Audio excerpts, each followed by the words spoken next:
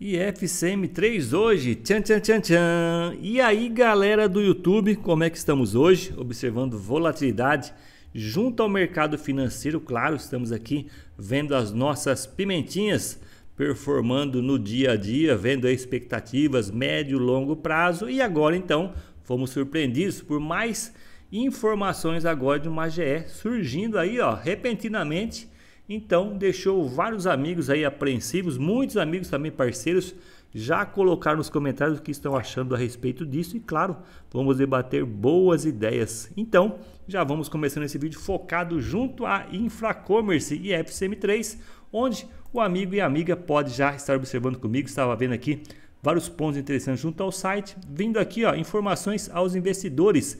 Você clicando em Central de Resultados, você já é direcionado então para a movimentação que nos interessa. Estamos aqui na expectativa do segundo resultado trimestre de 2024. E aí, somos pegos com essa nova GE. Então a expectativa está no ar, movimentação também no mercado na parte macro, chamando a nossa atenção que cada dia vem uma informação diferente. Então está deixando aí vários amigos aí com uma estratégia volátil, além do ativo ser volátil, hein? Então, já como falo para vocês, sempre se você é novo por aqui, aproveite, inscreva-se no canal, clique principalmente no sino para receber rapidamente o próximo vídeo e claro também já deixe seu like motivando o canal. Ponto bem interessante desse dia já é mostrado para vocês aqui então, junto aqui movimentação, estamos de olho aí na parte das eleições também nos Estados Unidos. Kamala Harris, no caso, já está é, nas pesquisas aí, é, empate técnico. Então, Biden versus Trump, Trump estava na frente. Agora já estamos observando a movimentação, então vai ter aí muita euforia no mercado logo mais, né? Então, para nós o Ibov saiu aqui dos 126 mil pontos, fez correção buscando 125.900 uh, e 54, menos 0,37. O S&P também seguindo seu terceiro dia de correção, hoje menos 0,51. E aí, o que acontece? Dólar, você observa nossa movimentação aqui do mercado do nosso real brasileiro desvalorizado. Ontem estávamos pior, no caso, é, R$ 5,66. Hoje, R$ 5,64, né? Então, já observando como para você sempre a movimentação que nos interessa, as informações, as expectativas. Na parte do gráfico tem dois pontos ali bem interessantes, né, para que a gente possa estar detalhando com todos os amigos e também, claro, como falo em amigos, já pegando aqui toda a nossa comunidade parceira, já de olho nessa expectativa, né? Já pontuando, o amigo aqui também, Salada da Música, né? Vem falando aqui a respeito é o grupamento, ou seja, nada de coisa boa. Será, amigo Max? Não não for grupamento ou follow-on, vendam para que eu compre mais, né? Caso contrário, eu irei zerar minha posição, mas me parece proposta de grupamento. Então, falo vocês, surgiu repentinamente a informação e aí, conforme você em cima da hora, né? E o amigo aqui, Sempu, também me falando na abertura no mercado hoje, já saberemos se é coisa boa ou coisa ruim. Então, como é que vamos observar aqui? O amigo Max também vem falando, praticamente, no caso, é 0 a 0 por enquanto, né? É, ele estava vendo há 8 horas atrás da gravação do vídeo. Então, como falo para vocês aqui, é legal que a gente possa é, estar ciente, né? Das nossas é, pesquisas, vamos falar assim, estudos, né? A respeito do ativo. O amigo Roberto Soares também seria um follow-on com participação da empresa, né?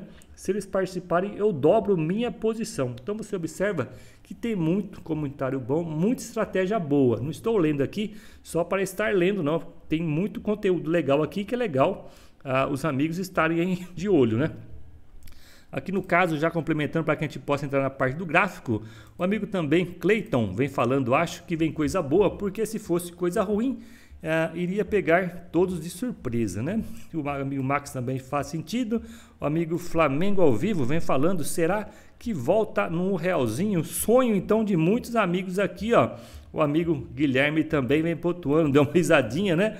Aí você tem um ponto, né? O amigo é, Mater também vem falando, mais ações no mercado, mais uma captação de recursos para queimar o ativo Como eu falo a vocês, aproveite. Se você também sabe alguma informação nova que não foi comentada nesse vídeo, já faça o, o, o, o pedido você pode estar colocando aí para que a gente possa estar aí todos amigos de olho no que acontece para buscar, como falo a vocês, uma melhor expectativa junto à movimentação de final de ano. Amigo Felipe, se não está cheirando propósito de grupamento, isso sim, né? Se for, eu vou zerar minha posição, amigo Marcos novamente. Felipe, então, é, mas a empresa fazer isso comprova que o Brasil, a bolsa é palhaçada, né? Sem é, fez aumento de capital, agora vai agrupar? Aí não, né? Você viu como tem bastante conteúdo interessante para quem possa trabalhar o nosso mindset aqui, observando toda a movimentação? É legal esse ponto de vista. Você acabou de fazer agora um levantamento de capital, agora fazer o agrupamento? Interessante, né? O amigo também aqui, é, Wilson, vem falando, pessoal. Estou comprado, continuo ou desfaço então a posição? Amigo Eduardo, estou achando que deve ser proporção do grupamento, por isso a votação. Claro, vamos aqui é, observando parte do gráfico que nos interessa aqui, relacionado à movimentação de hoje da Infracommercezinha, amigos. Aqui, ó, é, ponto interessante a ser observado para vocês, né? Como sempre falo, é, par de médias, média 9 já então configurou o mesmo que já está abaixo da cotação. Então já é um ponto, como falo para vocês, do mercado uh, já mostrar para nós aqui uh, o sentido, né? Só falta a média de 21 inclinar, onde já falei para vocês há umas duas semanas atrás, né?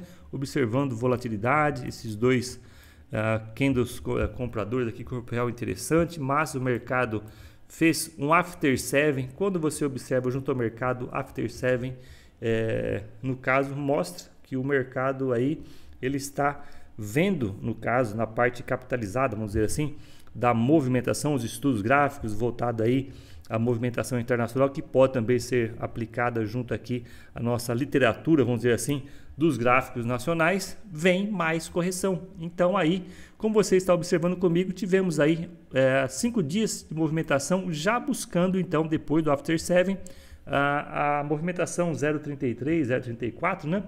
Que é, foi é, 11 dias, 11 candles anteriores ali naquele tentativa de montar mais é, um fundinho, né? E agora estamos novamente no teste, observando já dois dias de volume, não de muita expressão vendedora, porque já tivemos antes. Você pode observar que estou sinalizando aqui, né? Mas nesse movimento, você observa o mercado sem força, fez o Ibovespa também ser de 120 mil, buscar 125 mil, 126 ah, no momento que estamos aqui observando, depois de tentar 129.800, né, tivemos a correção de uma expressão meio sem mostrar aquela tonicidade compradora, o smart money, alguma coisa que mostre para nós, né, que agora vem efetivamente a movimentação do mercado financeiro. Então, você observa que estamos à mercê de informações. E essa informação, no caso, nem fez um movimento junto à par do gráfico. Ele já vinha normal, como você observou, observa comigo ontem, no caso, junto aqui à par do gráfico, já tinha marcado ontem, né? É a 0,34, mas aí fez uma movimentação compradora no finalzinho do, da tarde, trazendo a 0,35 e hoje já com abertura 0,36, metade do pregão 0,35 e no final da tarde, então já fez mais um pouco de pressão vendedora. Novamente, como eu falo a vocês, de olho no 0,33, 0,32. Aqui é um ponto chave, como eu falo a vocês, né? É, de referência junto a Infracommerce e FCM3. E aí, como eu falo para vocês, o legal é que a gente possa ter nossa estratégia observando se acontecer mais movimentação corretiva, ia fazer algum movimento ali, querendo, né? É, depois de observar esses dois candles aqui compradores, né, de aporte, até acabei aportando mais quantidade mínimas ali é, com trocado mesmo da pizza, né, nada que pudesse mexer no meu preço médio. Então agora temos que ficar cada um com a sua estratégia definida, né, não saindo aí nos burburinhos, nos rumores, porque é, só sabe é, a sua estratégia no caso, né, como pode ser levada cada amigo, cada amiga investidora que tem aí no caso, a sua performance esperada, vamos dizer assim, arrojado, moderado, conservador. Então, amanhã como falo você, sexta-feira já estamos aí com cinco é, fechamentos de sexta-feira positivo e quatro negativo no curto prazo, onde começamos a estar acompanhando. Falei para vocês também da parte de informações, né? Quarta-feira vinha informação junto ali a mercado americano, né? PCI também que veio uh, fazer uma movimentação ali corretiva, né? Então já pressionou várias bolsas e também já uh, acrescentando também parte eleitoral americana que reflete também em todas as bolsas, né? Então, conforme vocês, de olho nas próximas informações de infracommerce, aguardando então essa AGE para que a gente possa estar aí trocando sempre as melhores ideias, observando como buscar formas para potencializar o nosso capital. Então, amigos, um vídeo bem rápido focado junto a infracommerce hoje. Obrigado pela parceria de vocês. Até mais.